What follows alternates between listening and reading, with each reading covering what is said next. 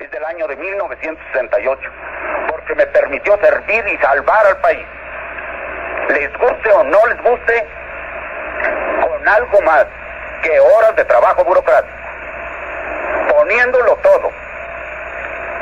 Vida, integridad física, horas, peligros, la vida de mi familia, mi honor, mi, el paso de mi nombre a la historia. Todo se puso en la balanza. Salimos adelante. Y si no ha sido por eso, usted no tendría la oportunidad, muchachito, de estar aquí preguntando.